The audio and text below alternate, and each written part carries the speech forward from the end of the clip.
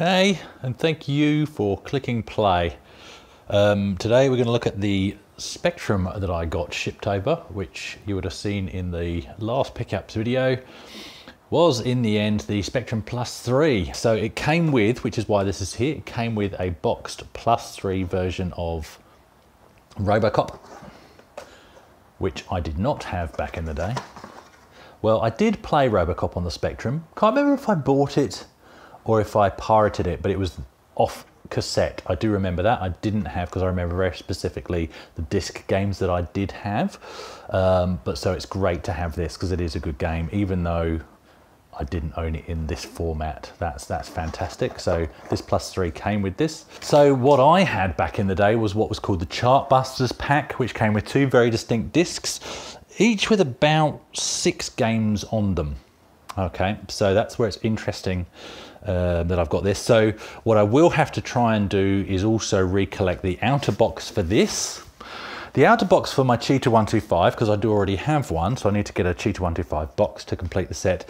And then the outer sleeve that would have extended past this to include the Cheetah 125 box that said Chartbusters on it. So I do want to recollect those little things, just to put next to my Batman pack up on the shelf there.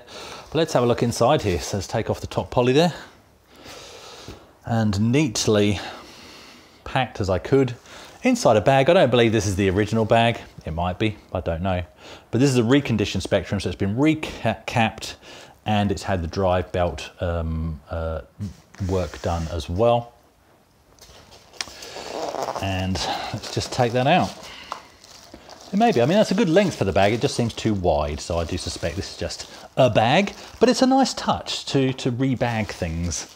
I like it. I like that attention to detail. There we go. Let's get rid of the bag and have a look at the machine. It's beautiful.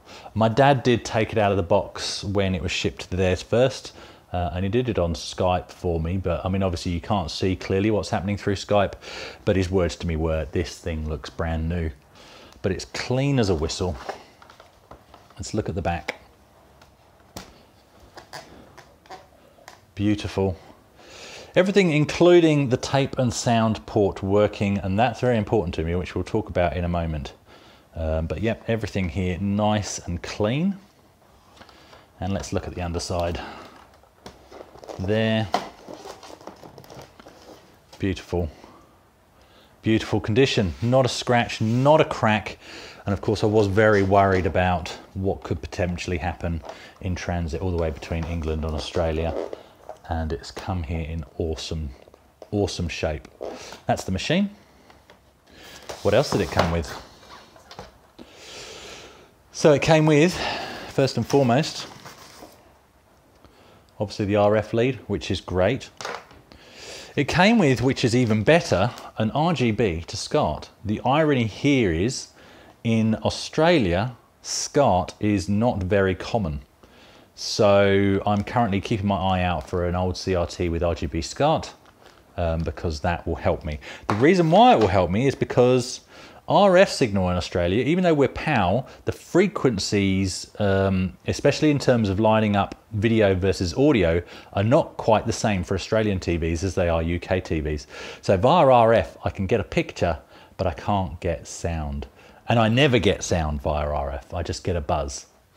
Um, so that's caused a bit of an issue for me, especially because I also can't use this. So we'll talk about what my current solution is. What else it got? So obviously that cable was brand new. So it's got the card for the cable, troubleshooting guide also for the cable, which is great. We'll have a look at that in a minute. Put that to one side. The manual, bit ropey, but I mean, it would be after all these years. So that's fine. And of course the power brick. And there it is. That was the bit I had trouble repacking. But the power brick, fully working. I don't know, and I didn't ask the question, and I am still chatting with the seller, so I may ask if this has also been recapped, but it's working absolutely fine. And given the quality of the work he's done on the machine, I dare say he would have at least tested this to make sure it was stable. So I'm happy using that. I may, same as with the Amiga, I may well get a Meanwell or whatever they are, just for longevity and peace of mind that I'm not going to get fluctuating voltages destroying the custom chips in such a hard to replace piece of equipment. This is beautiful. As I've said previously, I really, really, really wanted a Spectrum for years back in the day, and what I ended up with instead was an Acorn Electron. A few of my friends had the Spectrum 48K rubber key. Then a couple of my friends, Sean being one and Steve being another, they got Spectrum Plus 2s, and I loved the Plus 2. I loved the idea of the integrated tape cassette. So I really wanted a Spectrum Plus 2 at that point. And then one birthday, and it was a complete surprise. My brother, my oldest brother, same one that came home with the Electron that other day, he came home and he gave me my birthday present and I unwrapped it and it was a brand new Chartbusters Spectrum Plus 3 and I was over the moon. I had not only a Spectrum but a better Spectrum than all my friends. Fast loading from disk with the option to load from tape from the back as well, which is something I'll recreate over time. So really, really happy with that. So to this day, he reminds me, I bought you your first computer. And I say, yes, John, I know. I have you to thank for my career and everything. And look, in part, it's true. It's through, through the Electron and also through this. Um, it was definitely part of my journey, which is great. So Chartbusters, like I said, came with two particular discs. This box came with Robocop and another disc, one other disc, which is this, which is one of the discs from the Chartbusters pack. This came with the pack that I had. So I had the, uh, as you can see there, Super Test 1, Super Test 2, Cosmic Wartoad, Gift from the Gods, Maelstrom, and Nomads. So I remember this disc very, very well. So far I have tested this to load. I've not played the games because I want you to be part of my first reaction on this disc. So we're going to do that shortly. Before I even found this on eBay as a buy it now, I'd seen on one of the Spectrum Facebook groups somebody selling another disc and I grabbed it because it's this. That's the other disc that came with the Chartbusters pack. As you can see there, Chartbusters. So I'm pretty sure this came with all Spectrum Plus 3s. I'm pretty sure that's how it works. That came with all Spectrum Plus 3s. And this is what came with the Chartbusters pack. So another six games. Yi Kung Fu, Great Escape, um, I can't read what that one says, and I can't remember what it is, to be honest. Um, Cobra, Short Circuit, and Green Beret. And again, this one I have tested to load the menu. I've not played any of the games. I have played Robocop just to make sure it works because I was having to test sound. So let's talk about that. So I can't get sound via RF. I can't use the RGB to SCART. So what am I using? Well, what I did was I went into my garage after going to one of the local shops and I basically made, so this was a stereo, um, 3.5 to 2 RCAs, and I chopped off the, so brand new cable, I chopped off the RCAs and added these mono tips. So one for going to tape, to um, actually load from tape, and the other one to actually output sound because that's how this works. So really it's a stereo jack with the common ground, so there's the ground on, on that, sorry. Um, but one side goes to, uh, is an input so that you can load games from tape and the other side is a mono output. So that's why I've made the cable like that. Sorry, that's deceiving. Here we go, two monos. And then this is obviously, because generally you'll be going to stereo speakers, so that can go into that.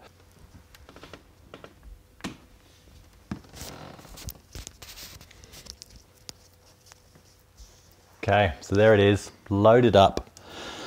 The audio in on this screen only works when you're in RGB mode, not RF mode, so I couldn't use that, so I have had to set up one of my retro speakers. So that's fine. Um, and there we go. That's where the noise comes from.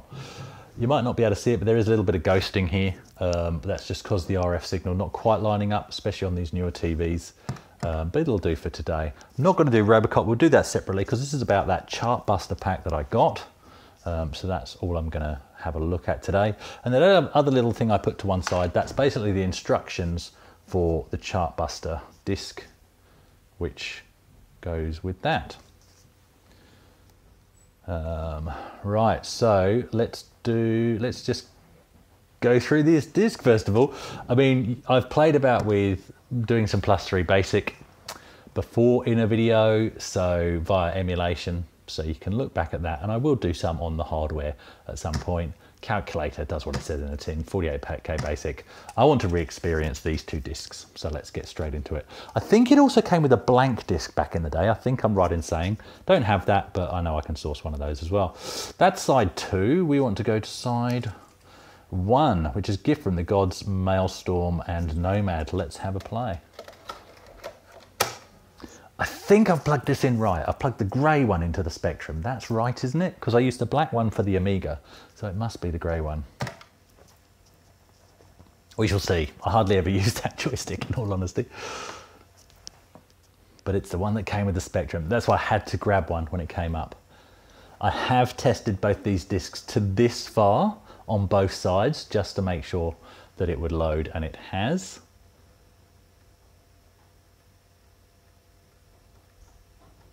Interesting that flickering seems to line up with disk drive activity, so that's interesting to note. Not too worried. Gift from the gods. Does this work? Oh, it does. Oh, okay. Okay, we've got a grab and we got Nomad as well. We have to use the Cheetah 125. It's how this needs to be done. Gift from the gods. Remember the load screens? This is going to be some real nostalgia kicks. That's good stuff. And look, I've got no wait time. It's interesting, certainly getting some power creep. What I do remember is most of these games weren't great. Does that say Spectrum? I don't know. Let's try it. Five. Sure. What do I press next? Oh, zero to start game. This might work, it might not. Yay! So Spectrum, a Spectrum joystick was the last option. Okay. Um, I can't remember what you do. Obviously I've got to jump that, clearly. Oh, and you hold up to fly, because you got flying things. Interesting, I'm not hearing any sound. And I know sound's working. Oh, I nearly died there.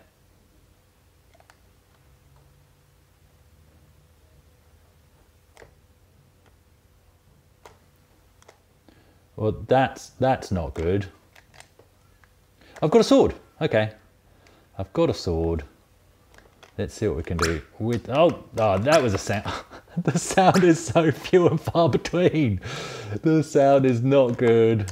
Uh, that button's not working. Oh, I have to maybe, no, that's, stamina is 55. Can I kill these things? I don't remember. I do remember I didn't particularly like this game. This is one of those games that uh, on a day, after, apart from the day that you got the pack, you'd have a quick play and then you'd come back and you go, maybe it was better than I thought. A bit like some of the games in the 10 star games pack, like Thundercats. Sorry for any fans of Thundercats, it was crap. I'm gonna die. Yeah. And, oh, that's right, I remember that screen. No, okay, so we're gonna have to reset. yeah, no. There's gonna be some chops here between games. Maelstrom, not Maelstrom, Maelstrom. My eyes, I can't read anymore. Now this was a weird one. This is quite a popular game. And I remember dismissing it in the early days and then going back to it again on one of those bored, you know, sunny days and going, oh, let's give it another go and getting more into it and realizing that this is actually quite a good game.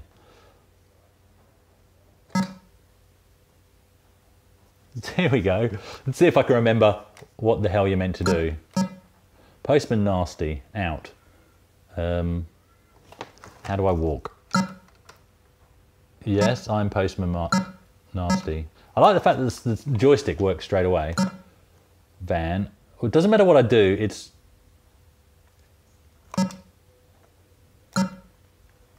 It doesn't seem to matter what I press. It's just coming up with that. Oh, space is walk, is it? What's fire? Fire doesn't seem to do anything. Now that's not working. Okay, that... Oh, oh that's because I'm near the van. I don't... Right, let's walk away from the van. Uh, no, no. Both of those walk towards the van. That's walking towards the van. That's what... What? What kind of controls? Stop it.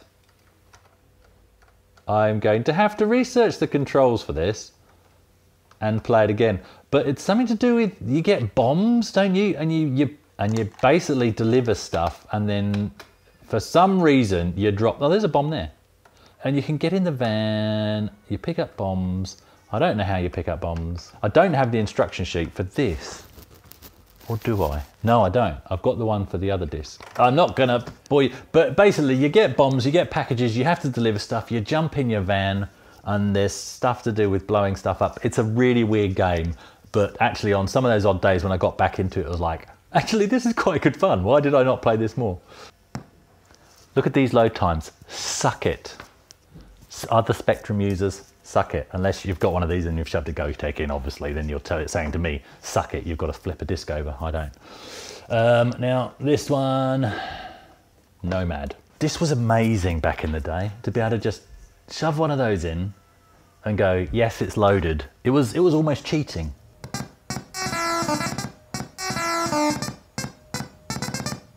Fantastic. Right, keyboard, no cursor, interface 11. Well, it's not Kempston. It must be, is it number four then? It doesn't work. Let's try that. Then press enter. Okay. So that's rotate, that's right. Rotate, and then you've got, that's it. Yes, I remember this.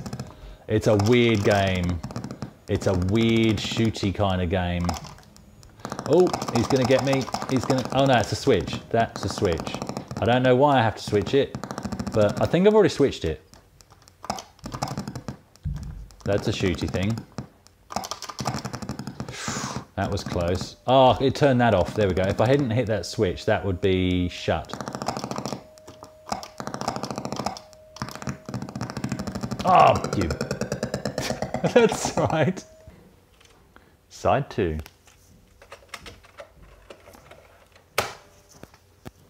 Uh, let's do it. Let's do it. We're just going to go through them in order.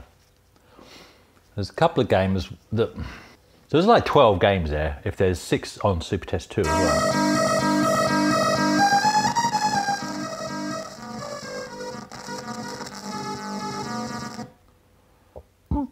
Right, I think number four seems to be working for us. Please enter your name. Uh, have we got numbers? No, we don't have numbers. I, don't, I don't have a name. Right. Oh, so you have to go through them in order. That's not work. Oh, yes it is. Uh, what? What? Up is... That's not working.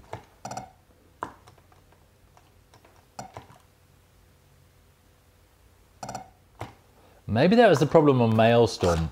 Oh, there we go.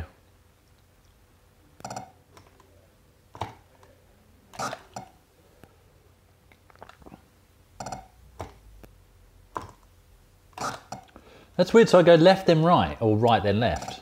All right, let's just do this. No, so I think this is just how the game works.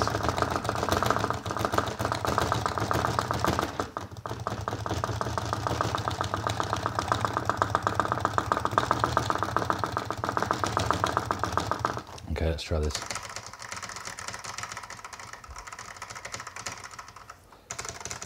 Nope, wrong one. That's up and down. It doesn't make any sense.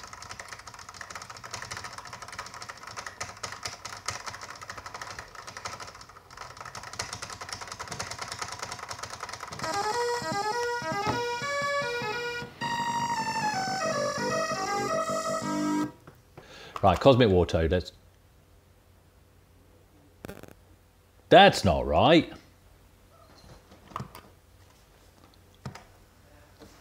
Then it's gone into loader. Oh, maybe it loads. Insert tape and press play. No? Let's try that again.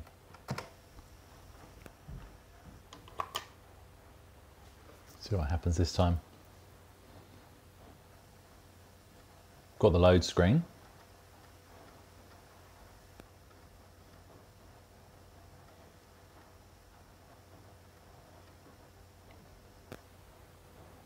Missing address mark. There's an issue with loading Cosmic War Wartoad. Not gonna push that now. Look, worst case, I can load these from images off an app. Um, it'll just be a tape load, so that's fine. Right, let's jump into the second disc. Right, so this side is Cobra Mutants and Green Beret, so we'll start there.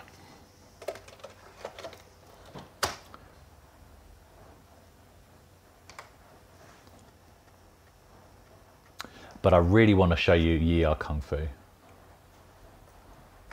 and talk about my memories of that. Because most of these, Sinclair, fantastic. Oh, a rocket to the face. This comes back. That's right, there's prams and everything.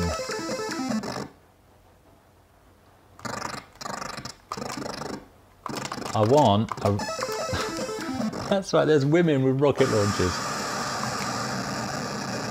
This is obviously from the movie Cobra.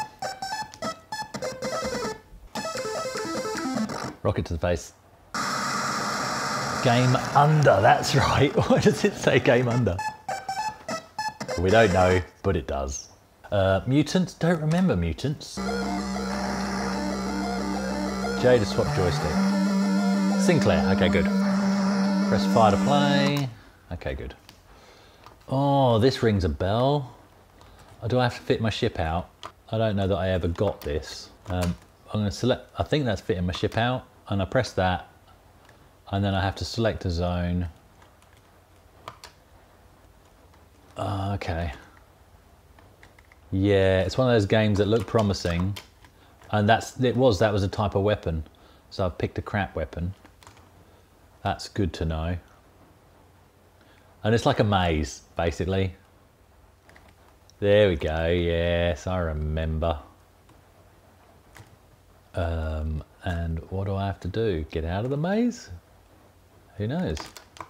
They got the packaging wrong, because that's Cobra, Green Beret, and Short Circuit. Mutant, So that's Mutant, that's the one I couldn't read earlier. Right, Green Beret. Here we go missile base. Oh yeah, yeah, yeah, yeah, yeah, yeah, yeah. Yes, yes, yes. We may spend a little bit more. That's the same effect as on Cobra, isn't it? And you can go up there. Yes, yes.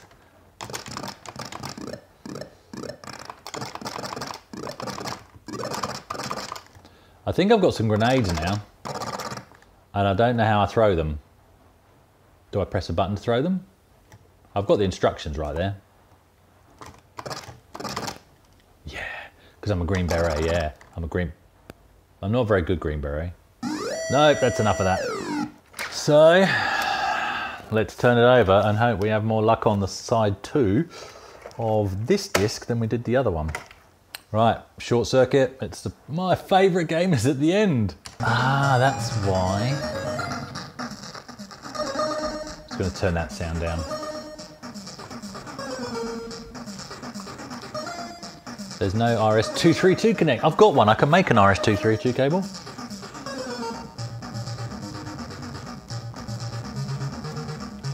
You have to do things. You have to use, search, read. Oh. It's like an adventure game. Number one for part, here we go. Here we go. I need, oh, I've killed the thing.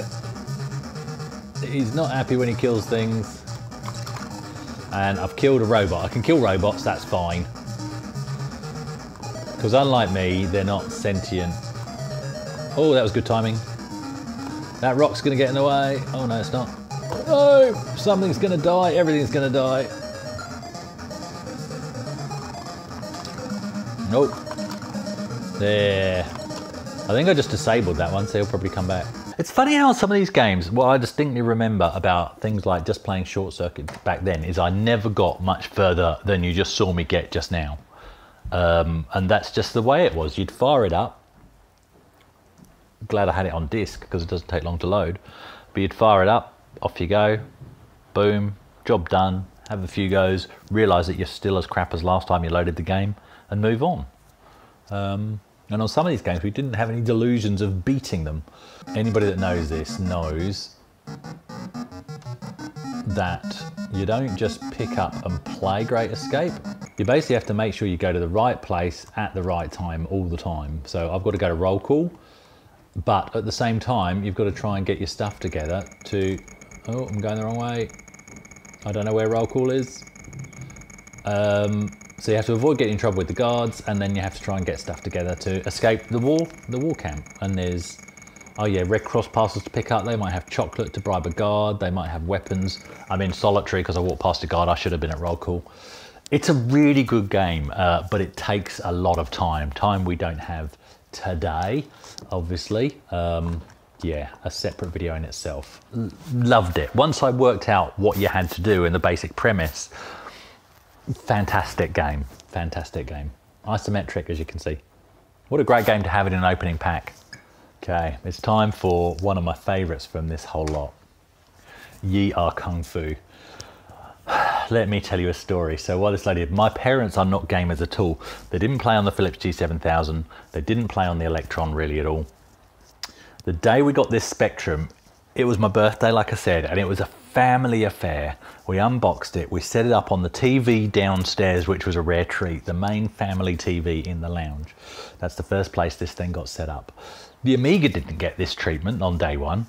Um, and my parents played and the game we ended up playing the most and they played each other and they played us and as kids we were going no you have to press this you have to press that and just the frustration kids have when trying to show old people how to play a game.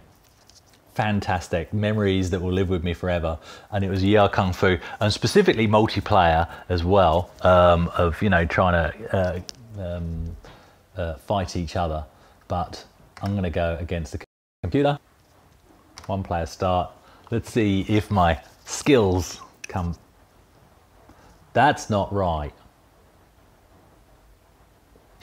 my favourite game of the lot and it hasn't loaded properly.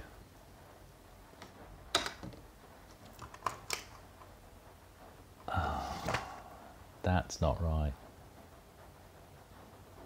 That's ah, uh, that's annoying. Oh no! Right, what I'm gonna do? I'm gonna try a clean. I'm gonna turn the power off.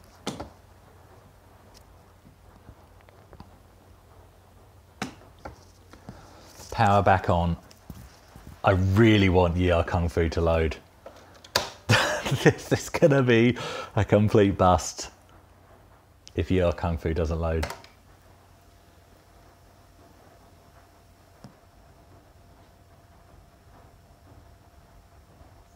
Again, look, I'll, I'll get it on I'll get it on an app and we'll do it separately. Well, it deserves an episode in its own right, Ar Kung Fu. I love it.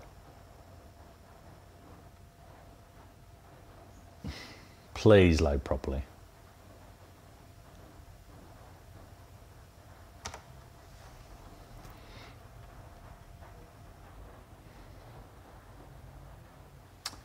Sinclair. It's weird at this point it all seems fine. One player. Player one, stage one.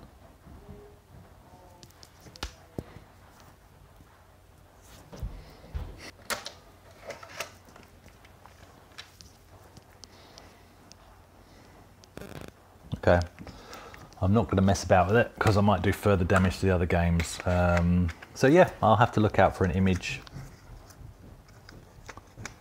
of Ar Kung Fu. It's just how it's going to have to be. So look, that's a real shame because that was the game we played on day one. But let's have a look at what games you've got. So Chartbusters pack, that's what we've got. You got Super Test 1 and 2. So while they're not my cup of tea, you've got the kind of sports games that the whole family can get around and do those joystick waggling stupidity things um, and actually have some fun. Cosmic Wartoad, that wouldn't load today for us. Um, but um, from memory, it's a bit of a sort of sideways scrolly shooty thing, I think. Can't remember. Um, an adventure gaming gift from the gods. I don't think I ever really worked out how to get very far on that. Um, Nomad's okay. Nomad's not bad. And Mailstrom, uh, Mailstrom, like I said, once I got into it, that was quite a fun game to revisit every now and again. And then, because I had the Chartbusters pack, having platformer, Short Circuit, where there's an adventure game and a arcadey platformer as well. Um, Green Beret, great action platformer. Love that game. Great escape adventure game. Once you worked out what you had to do, um, great. Mutants, nah, in all honesty. Yie Ar Kung Fu, great beat 'em up. And again, fun for all the family. Um, really, actually really annoyed that didn't load. Um, I can't even begin to tell you. But look, once I get working out how to load games off an app, um, then we're away and I'll just load it the tape-based version. You know, what's the difference? Um, so yeah. So that, it was a really good pack to have back in the day. A great day one pack. Um, so from here, a look, I'm really pleased to have a Spectrum. Um, lots of great memories, as I'm sure I've come across already, of Spectrum ownership that I eventually got one. And it was a shock to the family because I'd wanted one for so long when I said I want to sell my Spectrum because I want to get an Amiga and they were like, what are you talking about? Because they knew how long I'd wanted a Spectrum for. So it was actually a big thing and they didn't quite get that the quantum leap that going up to an Amiga was then going to be at that time. But for the time that I had the Spectrum, fantastic, fantastic machine and such a neat design. I actually absolutely love having that sitting on the shelf again. Gonna have to find a good place to, to situate it. Yeah, really, really nice machine. So I'll try and recollect the box. And then most of my games were on tape. So the only games I had on disc were the ones that came with the machine and Road Blasters and Thunderblade and there's stories to be told against how I got both of those as well. All the rest of my games are on tape, so I will try and recollect the tapes. I want to recollect the correct box and outer sleeve for this, as I said. All right, thanks guys, thanks for watching. And if you're into Spectrums, there will be more Spectrum stuff coming up. Um, and I'll do an episode on each of these games individually once I get them up and working. All right. Uh, I won't do any more until I get a cleaner picture on a screen though. Just wanted to share this initial replaying of these games experience with you guys. So thank you so much for watching. Cheers.